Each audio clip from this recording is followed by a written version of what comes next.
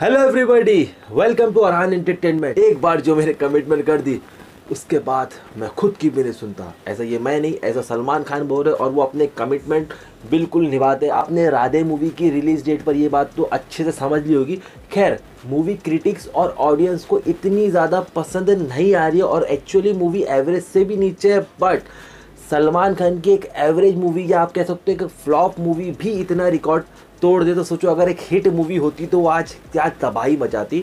पहला रिकॉर्ड ये कि फ़र्स्ट डे में 4.2 मिलियन व्यूज़ आए हैं, जो आज से पहले किसी भी मूवी के लिए नहीं हुआ ओ टी टी प्लेटफॉर्म में। तो ये अपने आप में एक रिकॉर्ड है और वो सिर्फ़ और सिर्फ़ सलमान खान की मूवी ही कर सकती है। और दूसरा रिकॉर्ड ये है कि यूएई में जब ये मूवी रिलीज़ हुई 50 परसेंट ऑक्यूपेंसी के साथ तो इस मूवी ने फ़र्स्ट डे कलेक्शन जो किया है, वो गॉडजिला वर्सेस कॉन्ग से भी ज़्यादा है। तो इसका मतलब भाई का जो स्टारडम है, वो इवन हॉलीवुड की मूवीज़ से भी कहीं ज़्यादा है। तो इसलिए एज एन इंडियन आपको प्राउड करना चाहिए। और तीसरा जो रिकॉर्ड है कि जी फाइव जो कि मेरे हिसाब से एक चुटबैला ऐप था, जिसको मैं कुछ भी नहीं समझता था। सीरियसली मेरे हिसाब से नेटफ्लिक्स और अमेजोन और एच बी ओ मैक्स ये कुछ ऐसे ओ टी टी प्लेटफॉर्म है जहाँ पर हमें एक क्वालिटी कंटेंट और बहुत ही ज़्यादा कंटेंट देखने को मिलता है, अच्छे वाले। लेकिन सलमान खान का स्टार्डम ही है कि अगर आप लोग चेक करोगे I O S app store पर और प्ले स्टोर पर तो दोनों ही जगह पे जी फाइव अब नंबर वन स्पॉट पे।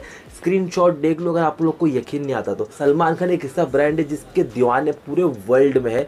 और भाई की मूवी फ्लॉप हो या हिट हो, भाई को देखने के लिए लोग जो मरते हैं वो आप लोग समझ चुके होंगे। और ये कोई पेड प्रमोशन नहीं है, जो रियलिटी वो मैं बता रहा हूँ मूवी मुझे भी उतनी खास नहीं लगी। लेकिन सलमान खान, मैंने वो वीडियो में ही बोला था कि सलमान खान उन एक्टर्स में से एक है, जिनकी एक झलक भर के ही काफ़ी होती है और उनके वजह से हम लोग मूवीज़ देखते हैं। लेकिन येस सलमान खान को अब ये चीज़ ग्रांटेड नहीं लेना चाहिए, क्योंकि उनकी प्रीवियस जितनी भी मूवीज़ है, वो बहुत ही चुदबैली मूवीज़ है, और उनको अब सीरियसली लेना चाहिए, और कुछ ऐसी मूवी बनाना चाहिए कि एटलीस्ट जो हेटर्स है, उनको तो मुँह पे चमाट मिले, लेकिन जो उनके रियल फैंस है, जो चाहते हैं कि भाई बजरंगी भाईजान और सुल्तान जैसी मूवी फिर से बनाए, या एटलीस्ट एकता टाइगर जो फ़र्स्ट पार्ट था, उस लेवल की ही मूवी बना दो तो कम से कम भाई अब स्क्रिप्ट पर ध्यान दें, और नेक्स्ट मूवी ऐसी हो कि वो सबको पसंद है, क्योंकि सलमान खान कलेक्शन के मामले में सबसे ज़्यादा आगे है, लेकिन अब उनकी स्टोरी और उनकी मूवी का जो प्रेजेंटेशन है या जो ऑडियंस चाहती है, वो कहीं ना कहीं मिसिंग रह रहा है।